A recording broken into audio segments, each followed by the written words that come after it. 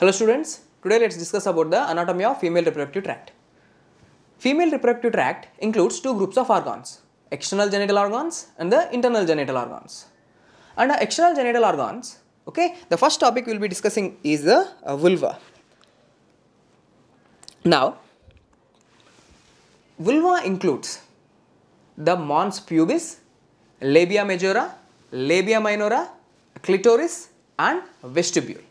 Okay, vulva is the external genital organ of a female which includes the following structures. Okay, let me show you all the individual structures so that you can have a clear idea about what we are discussing. Okay, now in this image, this thick uh, pad of connective tissue which has these pubic hairs. Okay? Which contains these pubic hairs. This region is known as mons pubis. Okay? Now these thick folds of skin which are present laterally okay? These thick folds of skin which are present laterally these are known as labia majora. Okay? Now let me show you what exactly are labia minora? Now these thick folds of skin okay? Now these thick folds of skin which are present a medial to the labia majora. Okay these two thick folds of skin which are present medial to the labia majora. So these uh, these folds are known as labia minora. Okay? Now what else you have to keep in mind? Now guys once concentrate the labia majora okay? The labia majora they are uniting posteriorly and forms a structure known as a posterior a commissure. Okay? Posterior commissure. Now in the same way even labia minora labia minora they will also meet posteriorly and forms a structure known as fore sheet okay? So fourchette is a structure because of the fusion of the labia minora and the posterior commissure is because of the fusion of the labia majora. Now if you can if you if you can see in this diagram the labia minora they are fusing even anteriorly over an erectile body. So this erectile body is known as clitoris okay? The erectile body for which the labia minora fuses anteriorly is known as a clitoris now we have discussed about the mons pubis. We have discussed about the labia majora. Mons pubis we have discussed. Labia majora we have discussed. Labia minora we have discussed. And clitoris we have discussed. Okay? Now we are left with the vestibule so what exactly is the vestibule? Is a triangular space which is present between a clitoris anteriorly and a fourchette posteriorly. So this space is known as vestibule. Okay? Now after knowing this terminology we'll be discussing about some of the most important MCQ related questions for our exams. Let's discuss about the homologous structures. So what exactly is homologous structures guys? Homologous structures are similar structures in their counterparts. For example, labia majora. So this labia majora is similar to labia majora in a female is similar to a scrotum. Okay, a scrotum in males. Labia minora is homologous to ventral aspect of penis. Okay, ventral aspect of the penis or penile urethra. Now, clitoris. A clitoris is homologous to a glans penis. Okay. So, these are the very very important MCQ questions for board exams. Now, let's discuss about the embryology. Now, labia majora are derived from means the, this labia majora embryologically take their origin from. Labia majora takes their origin from genital swellings. Okay, a very very important question.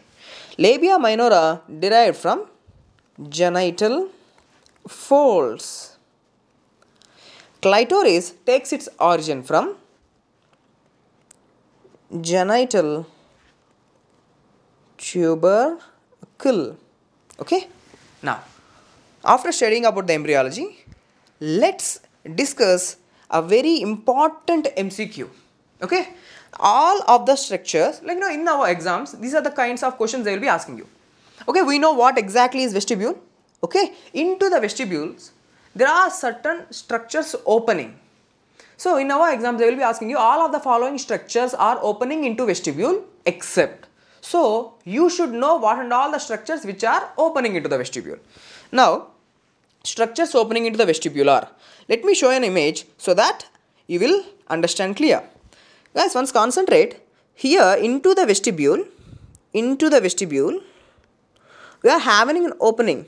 Once concentrate, we are having an opening, this opening. So this opening is a urethral orifice. Okay. Now here below that, we are, I'm having one more opening here. You can see. So this opening is the vaginal opening. Okay. Vaginal opening is also opening into the vestibule of the vulva. Now, apart from that, you can see here two glands are there, two glands with their ducts. Okay, the ducts of these glands are also opening into the vestibule. So, ducts of which glands, guys? Can you know these glands? Can you say out? It's the ducts of Bartholin's gland. Bartholin's gland. Okay, ducts of Bartholin's glands are also opening into the vestibule. Now, here in this image, you can't see, but here two more glands are also opening. The ducts of even uh, two more glands are opening here. What are they? It's the ducts of okay, Skene's gland.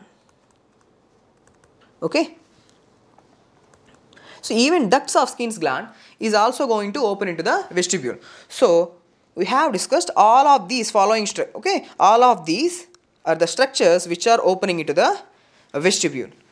Okay what are they? It's a urethral orifice okay? Urethral orifice vaginal opening okay? Next ducts of bartholin's gland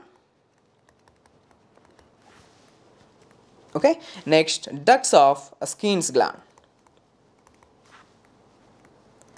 Next the blood supply. So this vulva is getting its blood supply from okay? As it's organ definitely needs to gather blood supply okay? Now the blood supply of this vulva region is getting its blood supply from the internal pudendal artery Okay, so internal pudendal artery is giving the blood supply for the vulva. Now nerve innervation, it is a pudendal nerve. Okay, the nerve innervation or the nerve supply for the vulva is coming from the pudendal nerve. Guys, it will be very good if you can remember the root value of the pudendal nerve. The root value of the pudendal nerve is from the S2 to S4, S2, S3, S4 segments. Okay, now lymphatic supply. Now the lymphatic drainage from the this external genitalia that is the vulva is going to be drained into inguinal lymph nodes. Okay? But one important point which i want to highlight here it's the blood lymphatic drainage from the vulva it's going to be drained into lymph nodes. There is no doubt. Okay? That's the inguinal lymph nodes. But clitoris now, the lymphatic drainage from the clitoris is going to be drained into a special kind of lymph nodes known as Rosen Muller's lymph nodes. Okay, Rosenmuller's lymph nodes are the lymph nodes which are getting the lymphatic drainage from the uh, clitoris. These Rosenmuller lymph nodes are also known as lymph nodes of Cloquet. Okay, please keep that point in your mind. Very, very important MCQ for our exams. Okay, next, after that, let's discuss something more important about the Bartholin's gland. Guys, where exactly is this Bartholin's gland is located? The site, first of all, before that, uh, what is the function of this Bartholin's gland? Bartholin's gland, it's going to produce the alkaline mucus during the sexual activity or the sexual intercourse. Okay. Now, what is the site of this Bartholin's gland? Bartholin's gland is located in the superficial perineal pouch okay we'll be having a superficial perineal pouch and the deep perineal pouch now this uh, Bartholin's gland is located in the superficial perineal pouch very important MCQ Bartholin's ducts are lined by. So we'll be having a gland. Further we'll be having a, a duct.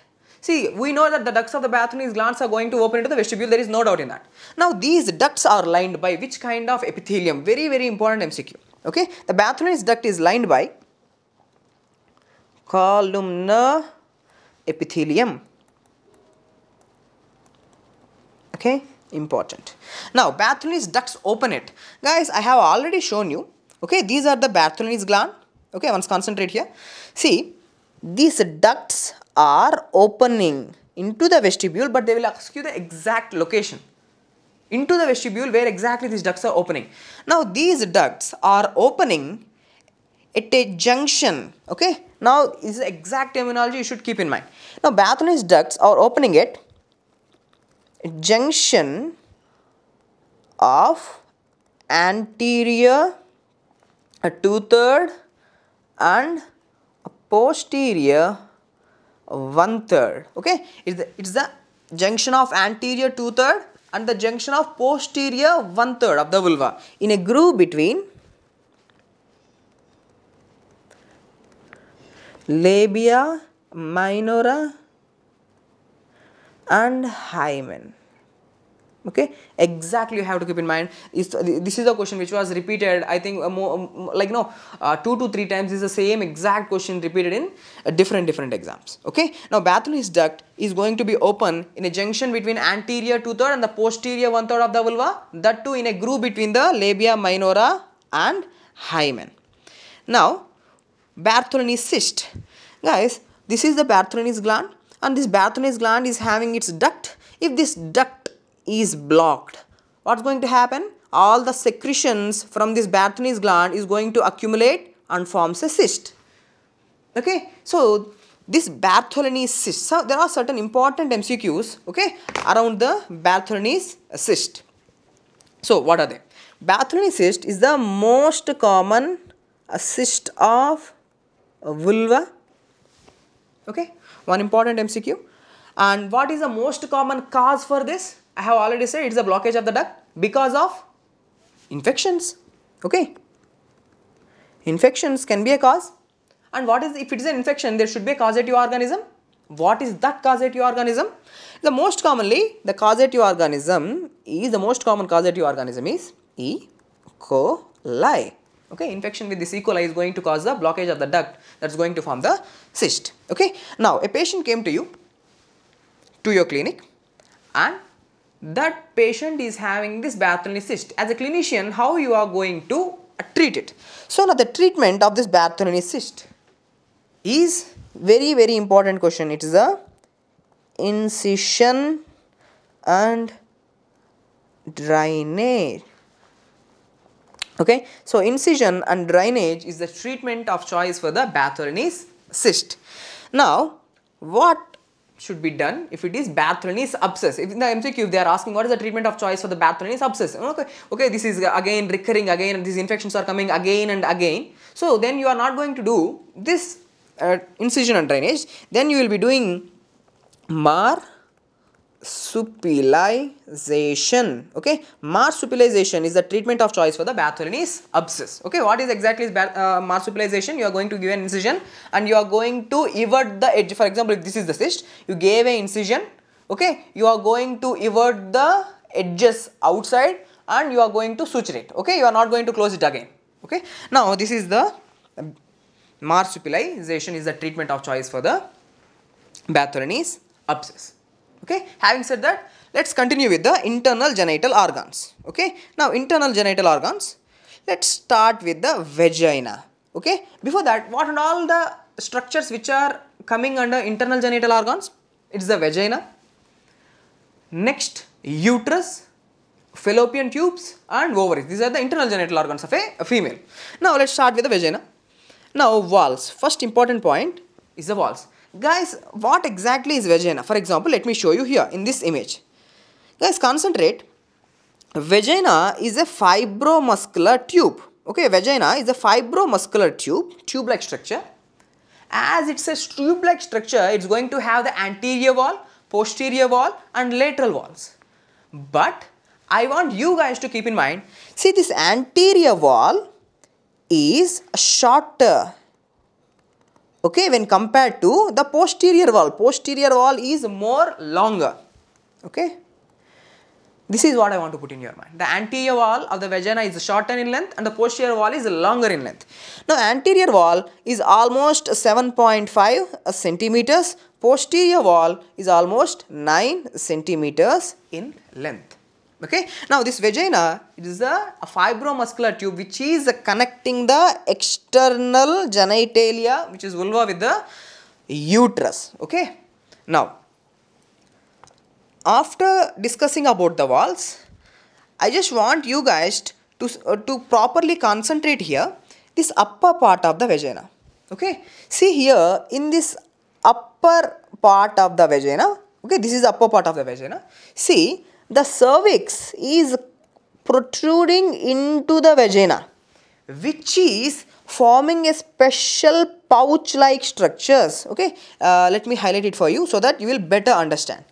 As the cervix is protruding okay uh, um, just wait. I will show you with the different color. As the cervix is protruding into the upper part of the vagina it is creating certain pouches. See these pouch like structures. So these are known as fornices okay? Now because of the cervix protruding into the vagina it's going to form the fornix. Okay? Again see here this is the anterior fornix.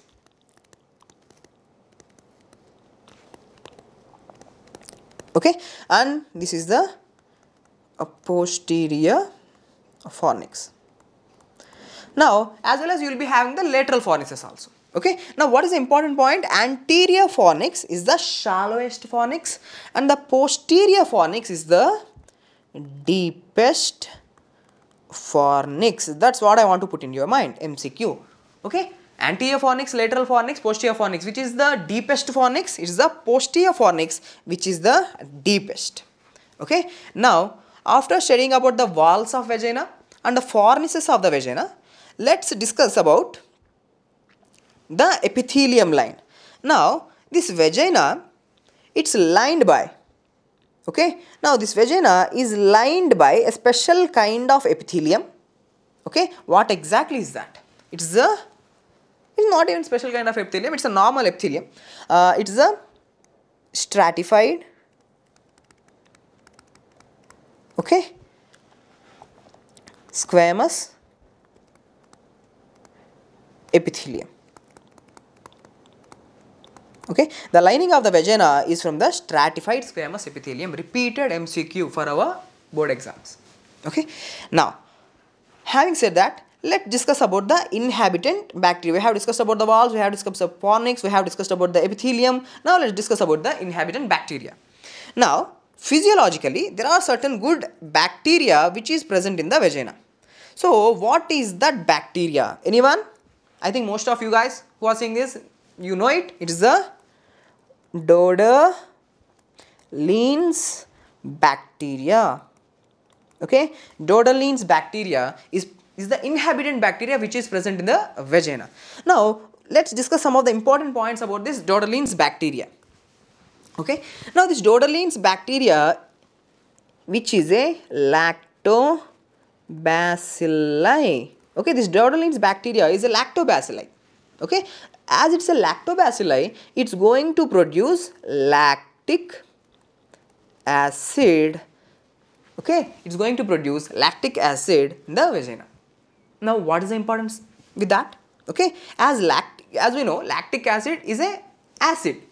So as there is lactic acid production in the vagina the vaginal a pH is going to be acidic okay? Now guys keep in your mind the vaginal pH is acidic which is almost around 4.5 okay? Very very important MCQ vaginal pH is acidic which is almost around 4.5 now in our exams they might be asking you just tell me the conditions where the vaginal pH is maximally acidic. Okay? Maximum acidic pH maximum acidic pH in the vagina is seen during is seen during pregnancy. Okay? During pregnancy it becomes more acidic and the same vaginal pH will become basic. Okay? More alkaline. Basic during anyone? During menstruation okay? During menstruation the vaginal pH become more basic. Why? Because we know that the our blood is more alkaline. The pH of our blood is almost around 7.4 as this alkaline blood is passing through the vagina it becomes more basic. Okay? Now and also during menopause. Okay? During menopause vaginal pH will become more basic. Okay? Now let's uh, discuss after discussing about the bacteria. Now what and all other important points we have to keep in mind okay? Now let's discuss about the anatomical relations. Guys this is very very important. You should know as a doctor okay you should know what and all the relations with the vagina anterior relations posterior relations and the lateral relations okay? If i am if i am uh, explaining you by just drawing a uh, image that that's not going to be more effective. So that let me show you an image where you can appreciate that relations okay? Now once concentrate guys here. Now this is the vagina. This is the anterior wall of the vagina. This is the posterior wall of the vagina. This is the posterior wall. This is the anterior wall. Guys once concentrate anterior to the vagina okay? Which structures do we have guys anterior to the vagina. Anterior to the vagina we are having urinary bladder. That's the one structure. So this is urinary bladder which is anterior to vagina. Okay. Now in the same way anterior to vagina we are also having a urethra okay. The first structure is urinary bladder. The second structure which is present anterior to vagina is the urethra okay. Now once concentrate on the posterior wall on the posterior wall in the upper part okay uh, See, it's the post. Now we are discussing about the posterior walls of the vagina and its relations. See, the posterior wall of the vagina is related with a pouch in the uppermost part. So, this pouch is known as, okay, pouch of Douglas. Okay, the pouch of Douglas or cul-de-sac. Okay, the posteriorly, the the vaginal wall is in relation with the pouch of Douglas. Now, in the middle region, okay, in the middle one third, the vaginal wall is in relation with the, what is this structure guys? This is the rectum. So, in the middle, see, upper one third, it is related with the pouch of Douglas. A middle one third, it's related with the ampulla of rectum.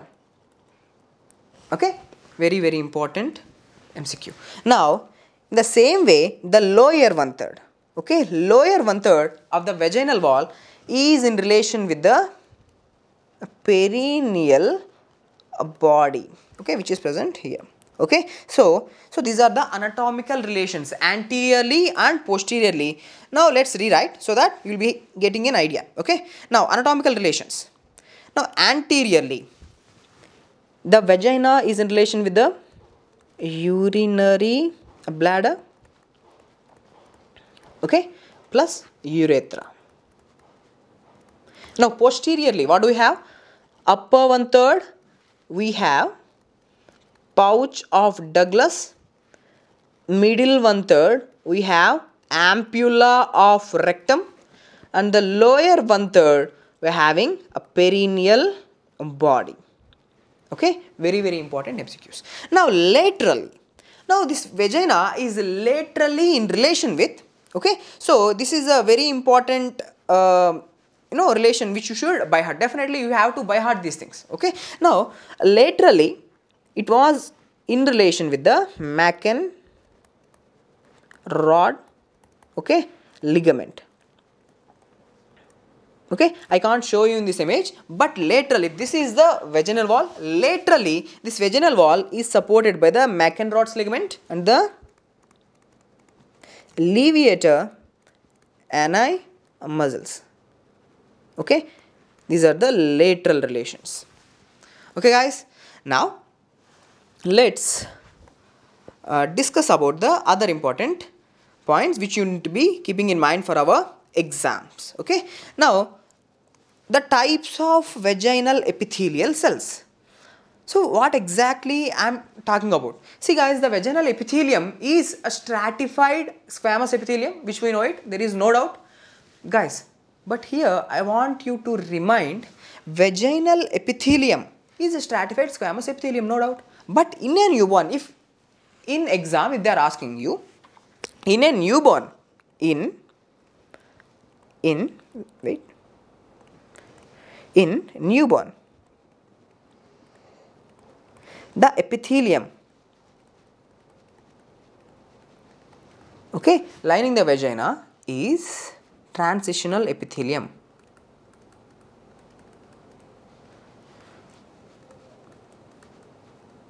okay? So transitional epithelium is lining the vaginal wall in a newborn female.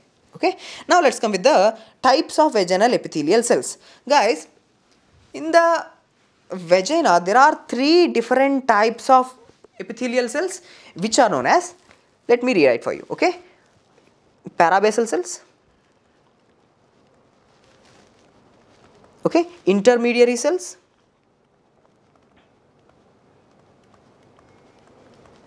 intermediate cells and superficial cells. Okay? Now these are the three different types of vaginal epithelial cells which are present in the vagina. But what is the important points you have? What are the important mcqs you have to keep in mind? Guys the number of the parabasal cells or intermediate cells or superficial cells depends on the hormones. What does exactly mean? See if in a female if there is no fluctuation of uh, if there is no fluctuation of any of the hormones hormones in the sense you know that uh, uh, estrogen and progesterone. If there is no fluctuation uh, between estrogen and progesterone means there is no high amounts of estrogen and there is no high amounts of progesterone. If there is no hormonal dominance then the parabasal cells will be more in number see parabasal cells will be more in number during no hormonal okay dominance. There is no hormonal dominance at all. But intermediary cells will be more in number during anyone? Intermediary cells will be more in number during progesterone dominance okay? What does it exactly mean? See progesterone when the levels of progesterone will be there more in the body the second half of the menstrual cycle or the luteal phase during luteal phase the progesterone is going to be the more dominant hormone. So that during the second half of the menstrual cycle intermediary cells will be more in number. Okay? Now superficial cells. Superficial cells will be more in number during estrogen dominance. Okay? Now estrogen when you will be having more amount of estrogen in the body estrogen will be more during the first half of the menstrual cycle which is the proliferatory phase or the follicular phase. Okay? Now please keep these important points in mind. Okay? Very very important topic for exams. Okay? Now let's discuss about the secretions in the vagina. Okay guys definitely in the vagina you can see the secretions. But what is that important point which you should remember is the is you know the secretions in the vagina are not exactly fr- coming from the vaginal glands. Why? Because there are no glands in vagina. Okay vagina have the secretions but there are no glands present in the vagina. So from where do these secretions come from? Okay? Now the secretions in the vagina are coming from the majorly majorly from the cervix. These are cervical glands which are producing the mucus and that mucus is going to dribble down into the vagina. Okay? So this is a very important mcq no glands in the vagina and the secretions are coming from the cervix. Now blood supply okay? Now let's discuss about the blood supply nerve supply. Okay? Now blood supply to the vagina is coming from? Anyone? It's the descending vaginal artery. Okay? So descending vaginal artery is giving the blood supply? Internal pudendal artery okay? Next middle rectal artery. Okay? These three blood vessels are giving the blood supply for the vagina. Very important mcq to be kept in mind. Now developed from guys what exactly i am talking about see this vagina see let me show you. This is the vagina and this vagina is in you know is in uh, connection with the cervix and this is the uterus. Let me i'm just you know i'm showing you a vague diagram okay? Now this vagina it is derived from embryologically it is derived from the upper two third okay? The upper two third of the vagina is derived from mullerian ducts okay? So mullerian ducts are forming the upper two third of the vagina. Not only upper two third of the vagina okay? Even the cervix fallopian tubes uterus all these are derived from the uh, mullerian duct. But the lower one third of the vagina is derived from urogenital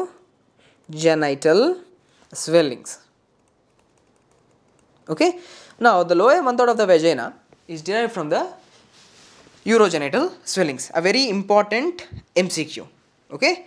Now after sharing this let's let's uh, deal about the um, now we have discussed the secretions blood supply nerve supply. Nerve supply is again from the you know that internal pudend uh, is, is the pudendal nerve which is supplying the even vagina. Now developed from we have upper two third is upper two third is derived from the mullerian ducts and the lower one third is derived from the urogenital si- u- urogenital sinus. Okay? The same thing. Developed from it you know it was uh, it's a typing mistake. Now let's discuss about anteversion and anteflexion. let's discuss about the topic of anteversion and anteflexion. what exactly they are you know so most of the students they will be getting confusion over here okay they, they, they exactly don't know what is anteversion and anteflexion. let me show you so that you will be having a you will be getting a clear idea okay now once concentrate guys here so you know this is a vagina which i am showing you cervix and uterus is there now once concentrate am drawing the lying long axis of the vagina. This is the long axis of the vagina. Now i am showing you the long axis of the cervix. Okay i have shown you the long axis of vagina and long axis of cervix. Now these two are uh, making an angle. Okay these two are uh, making an angle of a 90 degrees. Okay 90 degrees acute angle. So this angle is known as okay? This angle is known as anti version okay? So anteversion is an angulation between a vagina and cervix. Now let me show you one more angle. Okay? This angle. The long axis of the uterus and the long axis of cervix, the long axis of uterus and long axis of cervix are also making an obtuse angle, okay, which is almost around 120 to uh, 130 degrees. This angle is known as anteflexion. Okay, so anteflexion is the angle between uterus and cervix. The angle between cervix and vagina is anteversion. Now, like know, why we are discussing this? What is the importance? Most of the students will be thinking vagina, cervix and uterus, they are lying in one single line or they are lying in one single plane. That's not true. Okay, they are not lying in just like this pen. They are not lying like this. Okay, they are more angulated. There is an angulation between each other okay? Now because of this no uh, you, you you should know this okay? This angulation between uterus cervix and vagina okay? Now after discussing about the topics of anteversion and anteflexion let's discuss about the uterus okay? Now you guys know this is how uterus looks like you know? This is the uterus. Let me highlight you okay? So this part which i am highlighting is the uterus. Now in uterus for our exams what and all we should know. Okay now let's start. The parts. What are the parts of the uterus? Okay now there are three main parts in the uterus. What are they? Body isthmus and cervix. These three are the parts of uterus. Now let's discuss okay one by one okay now let's start with the body. Now the body of the uterus okay is going to have three layers. Okay uh, let me show you the body. Now concentrate here. So this is the body of uterus. Okay now concentrate guys. All this which i am rounding up is the body of the uterus. Okay now this area okay this small area this is known as isthmus. And this part okay which i am highlighting this part is the cervix okay uterine body or corpus. Next isthmus. Next cervix. Now see here in the body in the body of the uterus we are having a layers. Outermost layer is known as a perimetrium. The middle layer this middle layer is known as myometrium the muscular layer. And the innermost layer okay this innermost layer is known as endometrium. These three are the layers of the uterine body. Okay. Now, let's come back. Perimetrium, myometrium, endometrium. The lining epithelium. Guys, the lining epithelium in the vagina is stratified squamous epithelium. In a newborn, it is a transitional epithelium. Now, the lining epithelium in the uterus is columnar, columnar epithelium. Okay, so columnar epithelium is the lining epithelium in the uterus. Okay, now let's discuss about the living ligature. Guys, we have discussed that the body of the uterus is having three layers perimetrium, myometrium, endometrium. I have already said myometrium is a muscular layer. Okay, now this myometrium this myometrium is a muscular layer, this myometrium. See, okay, let me show you. Now, this is the myometrium. Now, here the muscles are arranged, again arranged in three groups. Okay. Now, outer longitudinal layer, outer longitudinal layer. Okay. Inner circular layer okay? Now now in the myometrium the muscle fibers are arranged in three groups. Outer longitudinal inner circular. But in between these two longitudinal and circular there is one more layer in the middle. There is one more layer which is a crisscross layer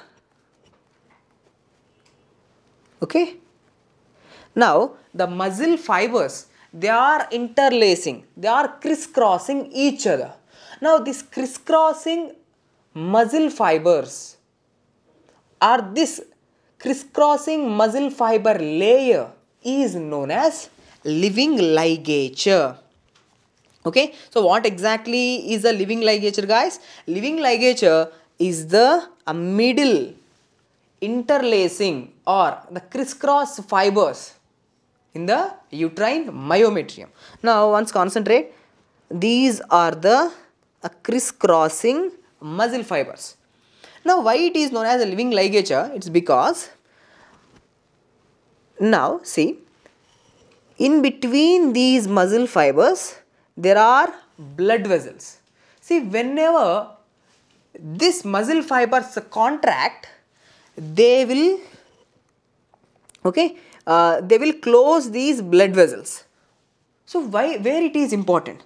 Guys remember whenever there is delivery of the placenta there is a lot of hemorrhage. After the delivery of the placenta the uterus needs to be contracted so that the blood vessels which are leaking they will be clamped down. Now this muscle layer okay this middle crisscross muscle fiber layer. This muscle fiber layer is the one responsible for the shutting down of the leaking blood vessels of the delivery of the placenta. Okay now living ligature we have discussed all the important points. Okay it's the middle muscular layer which contains the crisscross muscle fibers. Now cornua okay what exactly is cornua guys remember in this diagram once concentrate see this is the uterine body this is the body of uterus okay? This is the body of uterus.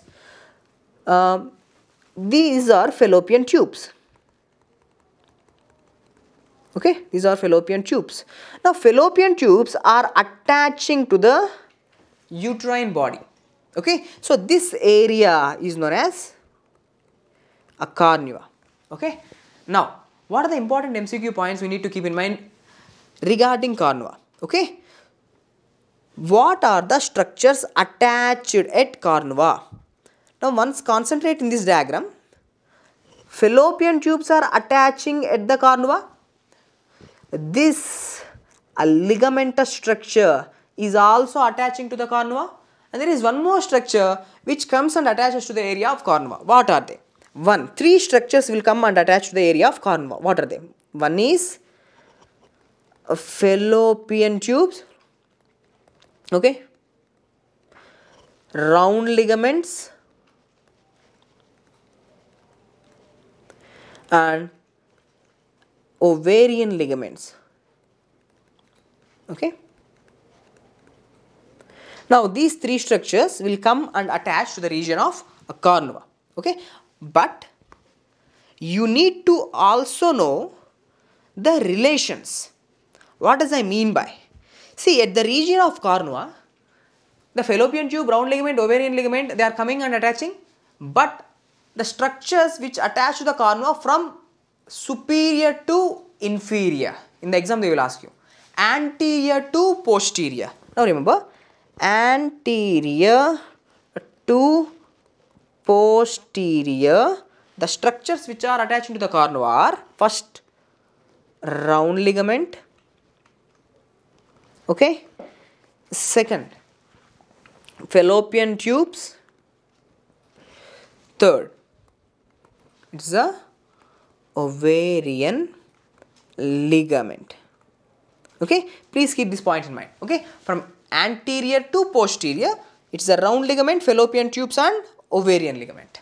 Now from superior to inferior. Now superior to inferior. Okay? Now superior most structure which is attached to the area of cornua is fallopian tubes. Okay? Fallopian tubes. Ovarian ligament and round ligament they are attached at the same level. Okay? Superior most is fallopian tube.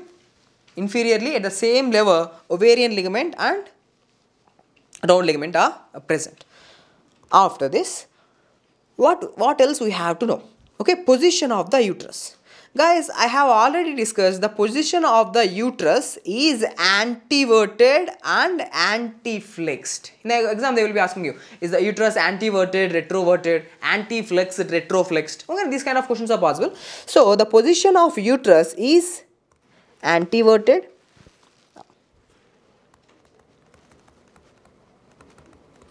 and anti flexed okay very very important now shape of the uterus.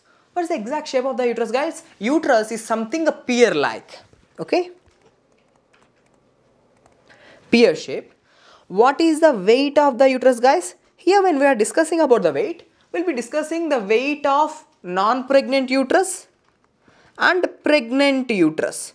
The non-pregnant uterus, the non-pregnant uterus weight is somewhere around a 50 to 70 grams. Okay, it, it usually weighs 50 to 70 grams. But during pregnancy, uterus alone, the uterus, I'm not with the baby, I'm just talking about the uterus. The uterus weighs almost 1000 grams because the hypertrophy and hyperplasia of the uterine wall, it increases in its weight. Okay. Now, there is uh, one more important MCQ they will be asking you. What is the weight of uterus immediately after delivery of the baby? Immediately after the delivery of baby, what do you think? What kind of changes will happen in the uterine wall? Uterus, uterus weight will still be the 1000 grams. Okay, suddenly after delivery, there is no changes coming in the uterus. It's still the same uterus. The baby is delivered, before it is 1000 grams even after it is a 1000 grams okay immediately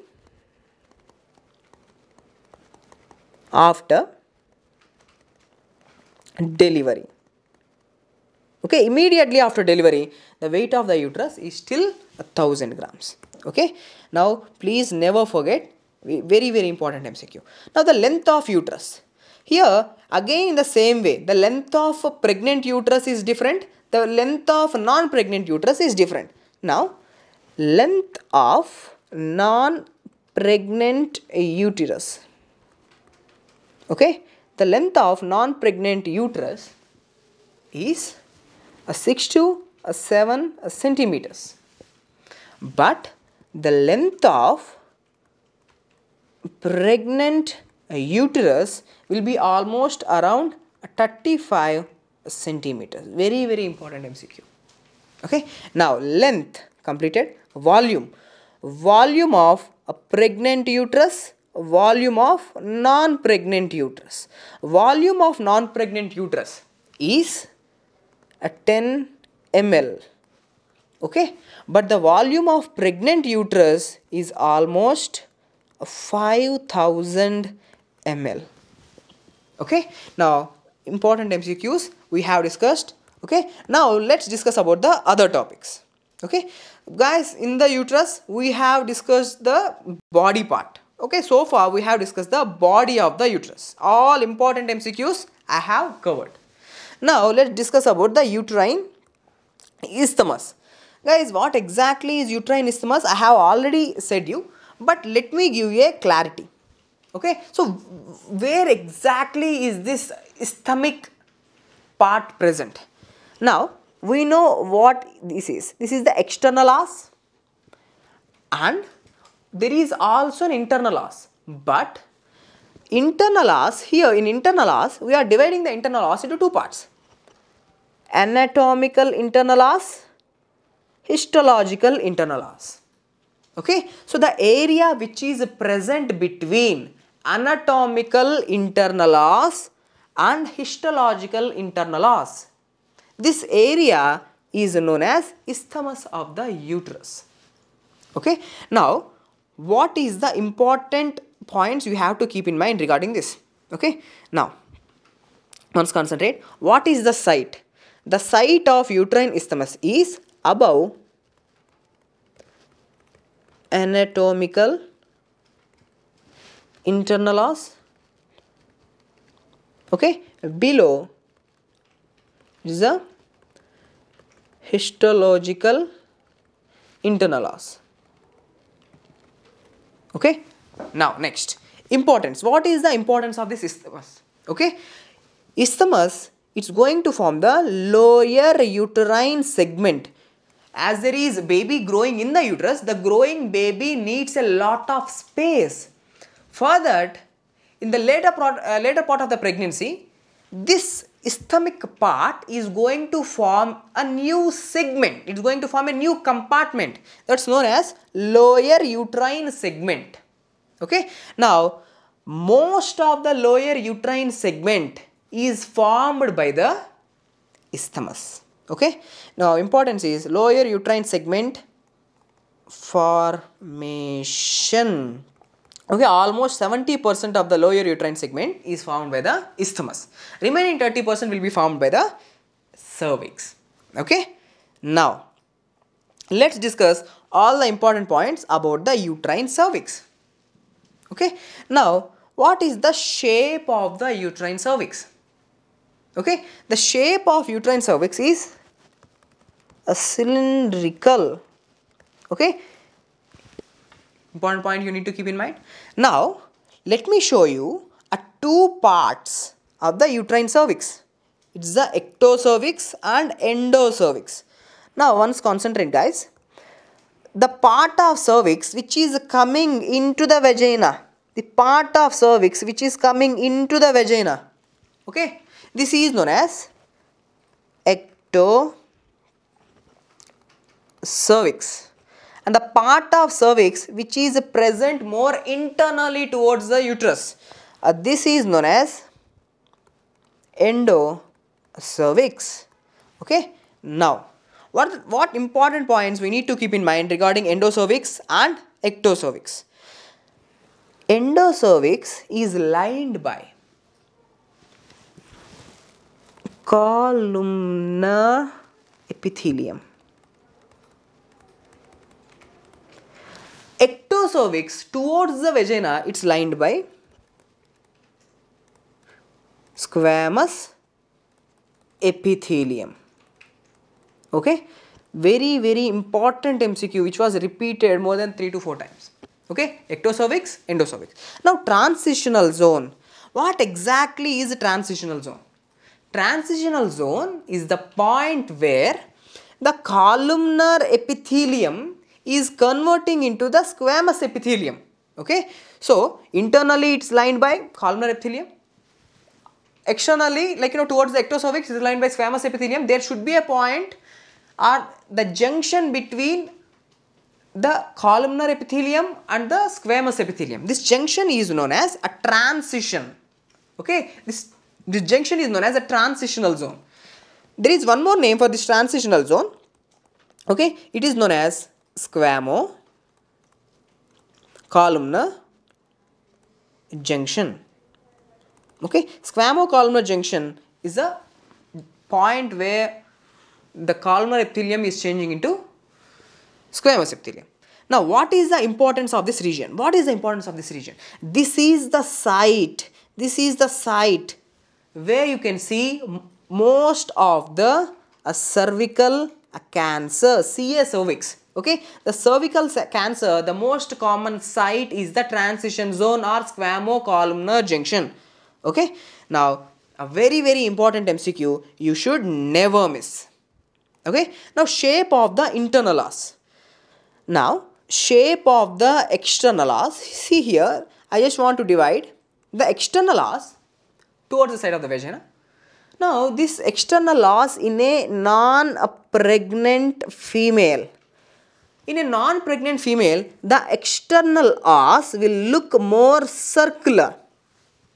But in a female who have delivered through the vagina, okay, the female who have delivered through the vagina, the external cervical os will look more a slit-like, okay, something like this. Okay, let me show you an image so that you will be getting a clarity.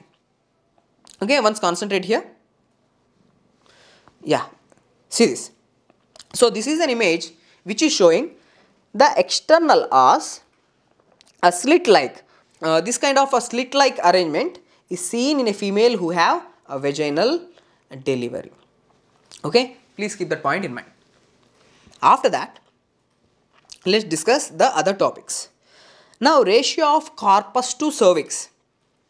Remember, during different different stages in a female's life, the ratio to body and cervix, the ratio between the body and cervix is going to keep on changing.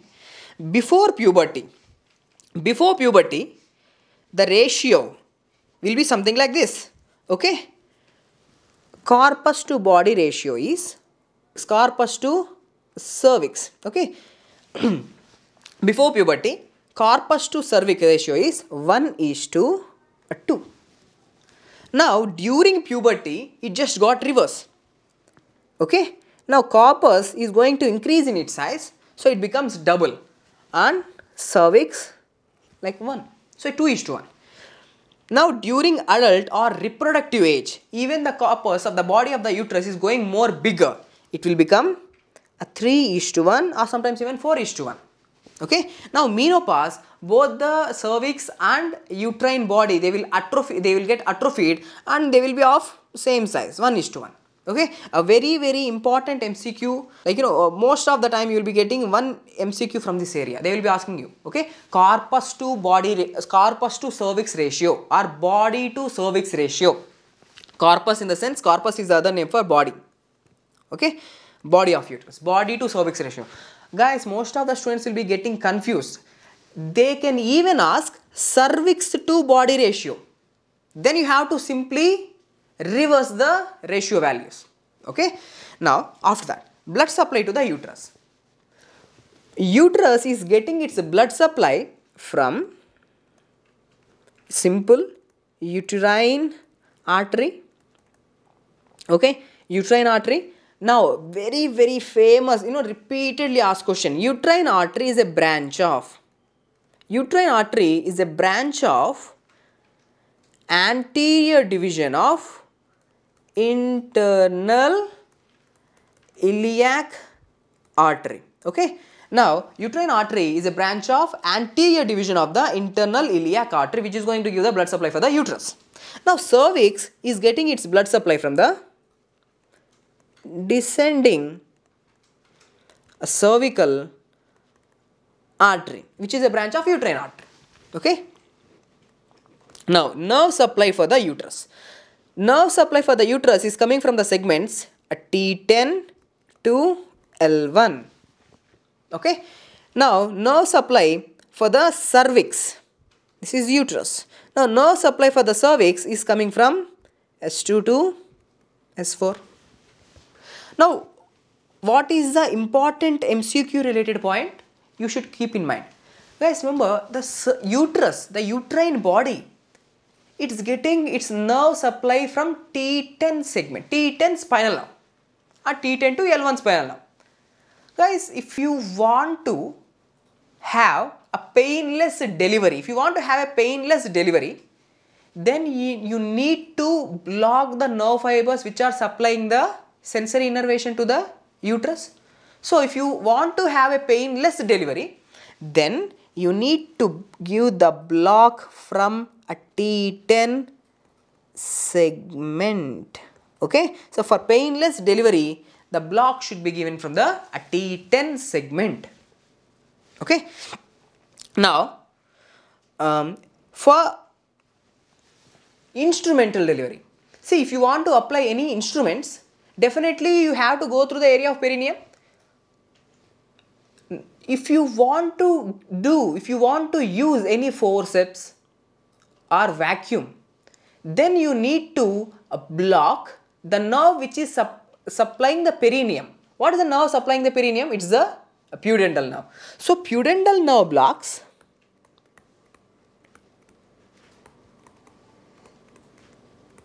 okay pudendal nerve blocks will be given during instrumental delivery. Okay? Please keep this point in mind. Never forget. Very, very important point. Now, nerve supply is completed, uh, blood supply is completed. Now, let's discuss about the development of the uterus.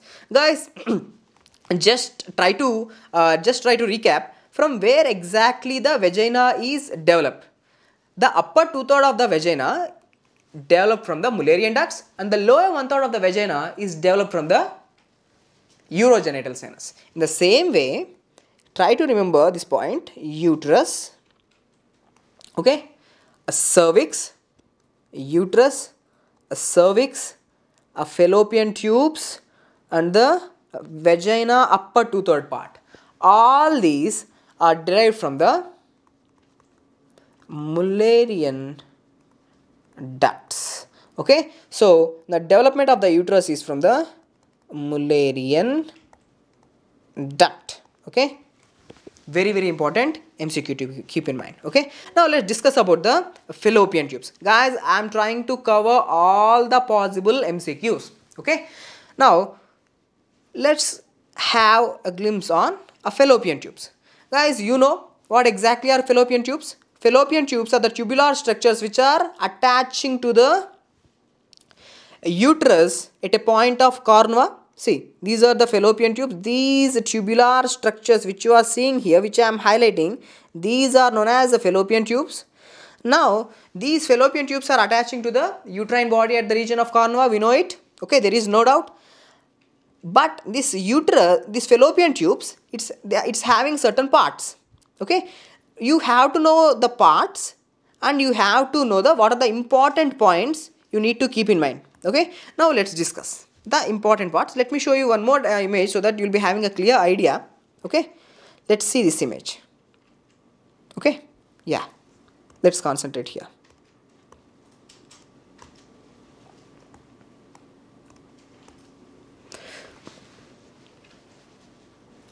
See guys, this part of the fallopian tube, okay, this part of the fallopian tube, this is known as infundibular part or fimbrial end. Okay, this part is known as infundibular part.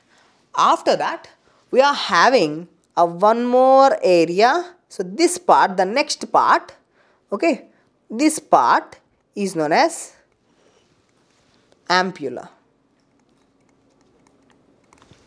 Okay guys, next we are having the next region, this part of the fallopian tube, this part is known as, this part is known as isthmus. Okay, and the part which is going into the uterus, it is known as inter stitium. Okay interstitial part. Now what are the important mcq points you need to keep in mind for our exams? Okay ampullary part. What are the important mcqs okay ampullary part of the fallopian tube is the place where fertilization occurs. Okay fertilization occurs here. Okay in the ampulla and ampulla is the most common site for ectopic pregnancy. Most common site for ectopic pregnancy is ampulla. Okay? Now let's come with the let's discuss about the isthmus. What important mcqs you have to keep in mind regarding isthmus? Okay? Isthmus is the place where you will be doing a tubectomy. Okay, so if you want to perform tubectomy, the most preferred site is isthmus. Why? Because if, if, the, if the female wants to conceive again, you need to give the reanastomosis. Isthmo-isthmic reanastomosis is having a most the, is having the highest success rate. So, isthmus, what's the most important points to keep in mind? It's the place where you can do the tubectomy. Okay. Now, interstitium. What's the most important point of the, you know, regarding interstitium? Now, interstitium is the narrowest part. Okay. The narrowest part in the entire fallopian tube is the interstitium. So, interstitium is the anatomical sphincter. Okay? Interstitium is acting as an anatomical sphincter. The second narrowest part in the fallopian tube is isthmus. So isthmus okay? Now one more important point for the isthmus is it's the second narrowest part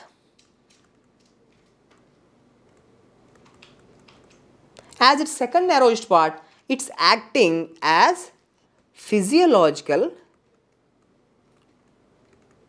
sphincter. Okay. Now, never forget these important MCQs. Okay. Ampulla is the place where fertilization occur. Ampulla is the place where ectopic pregnancies can occur. Isthmus, if you want to do the tubectomy, isthmus is the most favored side. Why? Because isthmo-isthmic anastomosis is having highest chances of success. Next, interstitium is the narrowest part. Interstitium acts as a anatomical sphincter. Okay, enough. If you know these important points, enough. Now, let's parts we have discussed. Now, lining epithelium. What is the lining epithelium in the fallopian tubes? The lining epithelium in the fallopian tubes is ciliated columnar epithelium. Okay? What are the special kinds? Very very important mcq point. A special kinds of cells which are present in the fallopian tubes are peg cells. Okay now what is the blood supply for the fallopian tubes? Now once concentrate guys the medial two-third the medial two-third of the fallopian tube okay let me show you. The medial two-third of a fallopian tube is getting its blood supply okay? The medial two-third of a fallopian tube it's getting its blood supply from the uterine artery okay? Now let me show you. Now this medial two-third this medial two-thirds it's getting its blood supply from the uterine artery and the lateral one-third of the fallopian tube it's getting its blood supply from the ovarian artery. Okay? Important mcq points the blood supply for the fallopian tubes. Okay? Let me rewrite uh, rewrite again so that you'll be getting a better idea. Now yeah. Blood supply. Medial two-third from the uterine artery. Lateral one-third from ovarian artery. Okay? Nerve supply. Nerve supply for the fallopian tube is from a T11 a T12 L1 segments. Okay? Now developed from I have already said you guys the uterus cervix upper two-third of the vagina and the fallopian tubes even they all got their origin from Mullerian ducts. Okay, now completed. So fallopian tube is also completed. So the last topic, okay, now we will be discussing is the ovaries. Okay guys, now you can see whatever you are uh, seeing here is a cross section of the ovary. Now, how many ovaries does a female have? A female have two ovaries. What is the function of the ovaries? Ovaries contain the developing follicle which releases the ovum. Okay, now what we have to keep in mind. Okay, for our exam, a ovary measures what is the size of the ovary? Oh, height, length, no, that thing. Height, length, width, and height. It's the 3 into 2 to 1 centimeter. Okay, now formed it. These ovaries are formed intra abdominally at a T10 segment. And they have descended down and now they are play no at first they are developed at T10 segment. Later they will be descended down and they will be placed in the ovarian fossa. Okay? Now with the help of ovaries descended down. Okay? They are formed at T10 segment no doubt. They are descended down with the help of gubernaculum Okay, so gubernaculum with the help of a structure gubernaculum, the ovaries are going to descend down from a T10 to ovarian fossa. Now, ovaries are covered by or ovaries lined by, you know, once concentrate. on the surface of the ovaries, you are having, no, the female will be having a cuboidal type of cells, cuboidal type of epithelial cells. This is known as germinal epithelium. Okay. Now, ovary is covered by germinal epithelium, which are cuboidal cells. Okay, cuboidal cells. Now, ovaries in relationship with the ligaments. Guys, ovaries are present in the ovarian fossa, but these ovaries are attached to the uterus medially and the ovaries are attached to the pelvic wall laterally. Even these ovaries are attached to the broad ligament posteriorly. So, you have to know ovaries in relationship with their ligaments. Now, try to concentrate. Ovaries attached with with lateral pelvic wall. Okay. With the help of which ligament? A very very important MCQ. It is a infundibulo pelvic ligament. Infundibulo pelvic ligament. Now, ovaries are attached to ovaries attached to uterus. Okay, ovaries are attached to the uterus via which ligament, guys? Via ovarian ligament. Okay, with the help of ovarian ligament, ovaries are attached to the uterus. Next, ovaries attached to posterior wall of broad ligament. Okay, with the help of, okay, with the help of mesovarium. So, in the exam they will be asking you mesovarium or mesovarium connects ovaries with the posterior wall of the broad ligament, infundibulopelvic ligament connecting ovaries to the lateral pelvic wall, ovarian ligament connects the ovaries with the uterus. Okay. So, we have discussed about the ovaries and their ligaments. Next, what else we have to keep in mind? Next, discuss about the uh, blood supply. Uterus is getting its blood supply from the uterine artery. Even ovaries are getting it, their blood supply from the ovarian artery. Okay, blood supply of the ovaries is coming from ovarian artery. Okay. Now, what is the important MCQ you have to keep in mind? Ovarian artery, uterine artery is a branch of anterior division of internal iliac artery. Ovarian artery is a branch of abdominal aorta. Okay, ovarian artery is a branch of abdominal aorta. Super important MCQ. Okay, now if for example if this is the abdominal aorta, from abdominal aorta, okay, a female is getting the ovarian artery. At which level? At L2. Okay, at L2 level, ovarian artery is taking its origin from the abdominal aorta. What is the nerve supply, guys? And the last and final, you know, MCQ uh, for this video, it's the nerve supply of the ovary. The nerve supply of the ovary is coming from anyone?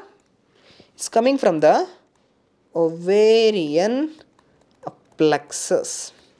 Okay. Now, in this uh, video, we have covered all the external genitalia of the female. Okay, all the external genitalia of the female, all internal genitalia of the female, and all the related MCQs. We have discussed everything. So, in the next video, we will discuss about the uh, menstrual cycle in a, a female. Okay, thank you.